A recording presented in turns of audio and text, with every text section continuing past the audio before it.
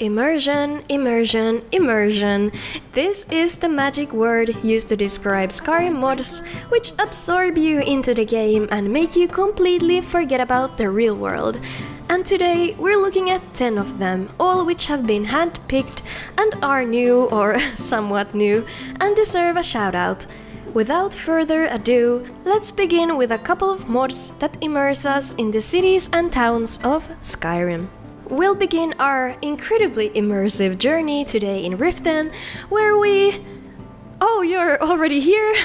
Uh, what am I doing, you ask? Yes, I know, this looks weird or bad, but it isn't what you think, I promise. Actually, this is our first mod today the Peeping Tom Simulator of Skyrim, or also known as Take a Peek New Stealth Mechanic.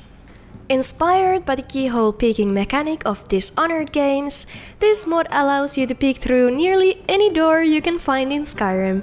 There are two ways to activate the action. By default, using the peeking ability spell, or alternatively, you can press the sneak button for 2 seconds to peek through a keyhole. By default, you can't move the camera much at all while peeking through a keyhole, but if that's a bit too immersive for you, you can free the camera from the mod configuration menu and have a lot more freedom in the snooping. But remember, the people of Skyrim might not appreciate your curiosity and will call you out on your discourtesy if they catch you on the act. So it's probably better to practice some discreetness if you're doing this in public or in crowded places. It's locked for a reason. This mod adds a new dimension of immersiveness to the Skyrim stealth and thieving experience, and is a fun new mechanic altogether. So if you're interested in spying on your enemies, or allies by chance, or planning a major heist without being noticed, I warmly recommend take a peek. What are you doing that for? Aside from ants, torchbugs, and butterflies, there aren't that many insects in Skyrim. So, introducing mosquitoes of Skyrim. I'm just kidding, that's the level of immersiveness no one needs. But what we actually do have here is a mod called Nocturnal Moths. The mod is simple and effective. Moths spawn around the lanterns of Skyrim outdoors between 10pm and 4am. You can adjust the appearance rate from the mod configuration menu to your liking. The moths are, of course, fully animated and have subtle sound effects. The moths will spawn only in clear or cloudy weather, so none when it's raining, for example. And if you choose the seasonal version of the mod, the moths are only active during the early summer to autumn for some sweet seasonal immersion. As if that's not already quite immersive for a small mod like this, you can give the lanterns a whack and the moths will clear out. Just a warning, this can get quite addicting. Nocturnal Moths is a great and very cute little mod to add to your game for some added realism and detail on the game's ambience. Next, I'd like to take a minute to improve the Courier, the most hardworking and beloved postman out there. Courier delivers to NPCs is a must-have mod for an impactful dose of immersion, because how on earth are we, the player, the only person that gets mail? The way this mod works is simple. Now there's a 15% chance of an NPC getting a letter delivered from the courier in the town you're in.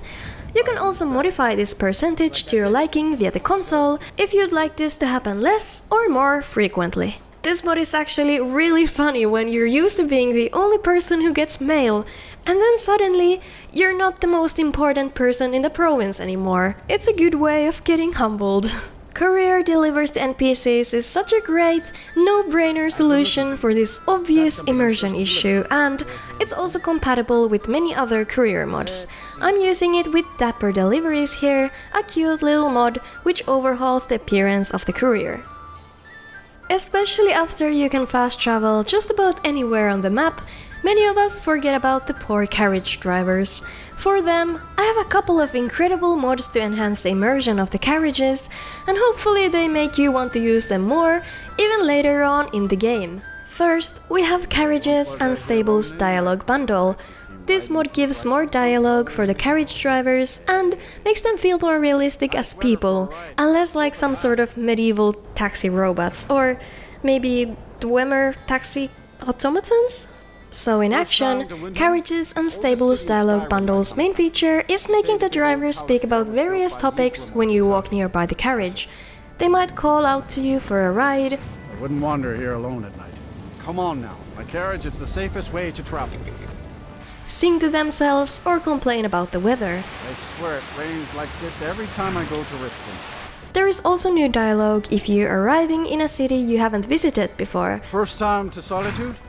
Beautiful old city, capital of Skyrim, but I'm sure you already knew that. All new lines are believable and fit right in, and you wouldn't even necessarily notice them being not vanilla, which I think is a sign of an excellent immersion mod. First time to Markarth? Some say it was built by the dwarves. I don't believe a word of it though. Next up, we have another shining jewel of Skyrim modding, the Coachmen. Have you ever thought about how the drivers just sit on their seat of their carriages all day, every day, 24 7? Always available and again, quite robotic.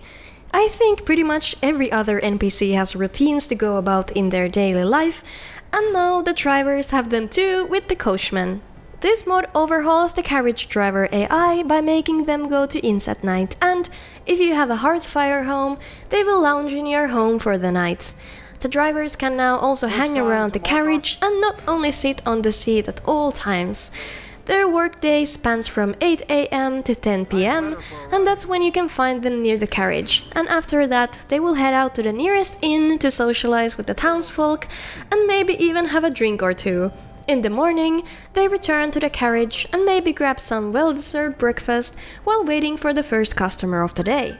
You can also see the carriage guard in this footage, which is an optional added feature in this mod. They have the same schedule as well, and of course, it's their job to keep the carriages safe. The guard is different in every city, so in Solitude, he's an Imperial soldier, in Markarth, he's an Orc warrior, and so on.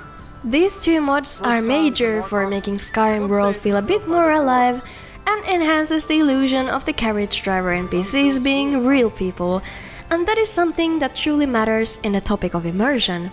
Let's complement these mods with three other smaller carriage related mods. Let's give the carriages a facelift with Detailed Carriages 2.0. This mod gives a unique look to all of the horse carriages in Skyrim, Traveling by horse carriage is by no means luxurious, but this mod makes the traveling a little bit more comfortable. The added card cover shields you from the sun, and the sitting compartment is now filled with books and other things to pass the time a little bit faster. And see how the earlier Moth mod works perfectly with this one as well. The title, Carriage Driver's New Clothing SE, is surely quite self-explanatory here, but I'll introduce it a bit more anyways. The mod substitutes the old farm clothes the drivers wear into standardized uniforms with four different versions of the outfit. The outfits are now fitting for the carriage locations, whether they're in a lush forest or the icy tundra. So finally, in the chilly climate of the north of Skyrim, the drivers are dressed appropriately with gloves and fur collars. This mod completes the immersion of the carriage drivers. Lively Cart Driver Animation Replacer is a simple animation mod which changes up the old stiff carriage driver animation with a livelier one. No more is the left hand glued to the carriage. Now our carriage drivers are more talkative, dressed appropriately for the weather, and no longer live their whole life on the seat of the carriage.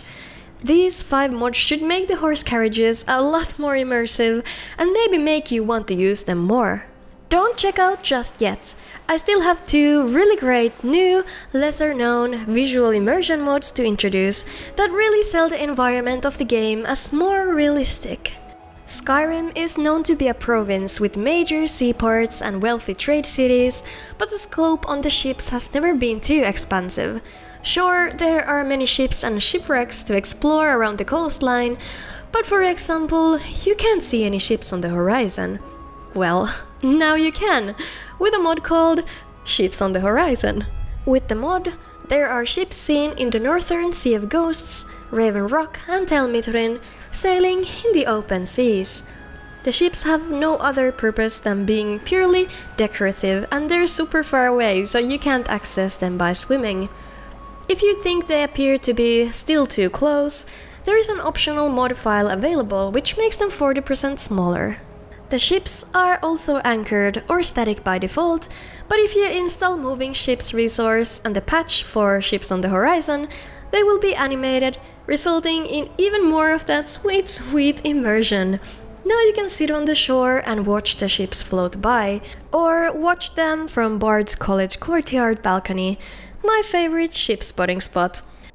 Our last mod in this video will also add on to the immersion of the Skyrim coastline, Whale bones on coasts, Mihail shards of immersion adds different whale skeletons on the northern shores. You see how great they look against Skyrim's rough environment, and sad as well as there are calv skeletons too. The surroundings of the whale bones are also perfect for life around them, and you might encounter monsters and mud crabs around them, as well as find small loot. I'll let the footage speak for itself, but for me, these whales leave me in awe and awake a sense of quiet appreciation. Before we end, I'd like to express my gratitude to everyone who supports me on Patreon. You ignite my passion of creating videos and push me to create even more and better content. For those who are interested in supporting the channel or maybe want to see some extra mod content, first of all, yes, it might not look like it, but we are in Skyrim. Go check out the Patreon, links in the description box. I don't know how many times I managed to say the magic word immersive in this video, but hey, who's counting? I hope you found some interesting and useful mods in here. I promise you, these were handpicked with love. My personal favorite from today was Nocturnal Moths. I'm a sucker for these sort of small things that affect the game's ambience. Let me know your favorites too. And of course, the links to the mods can be found in the description box as always. You know the drill, don't forget to press all the buttons and see ya!